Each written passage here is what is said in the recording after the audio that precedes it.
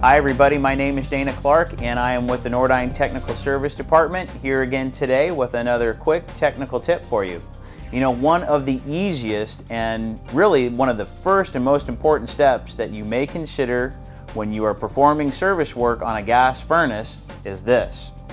With the power off, disconnect the R and the W terminals off of the circuit control board. Take a high quality jumper wire and then simply place it between those two terminals. Jump R and W together on the board. What this allows you to do is immediately eliminate the thermostat wiring and the thermostat out of the equation or off the table of possibilities of what could be possibly causing you a problem. This also allows you control remotely right at the furnace when you are conducting your troubleshooting. So many of today's modern gas furnaces, heating and air conditioning condensers are being controlled by digital thermostats that have a factory delay built into them.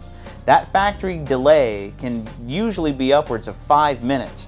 That five minutes will feel like an eternity if you are constantly waiting for that delay to expire before the furnace will start for you.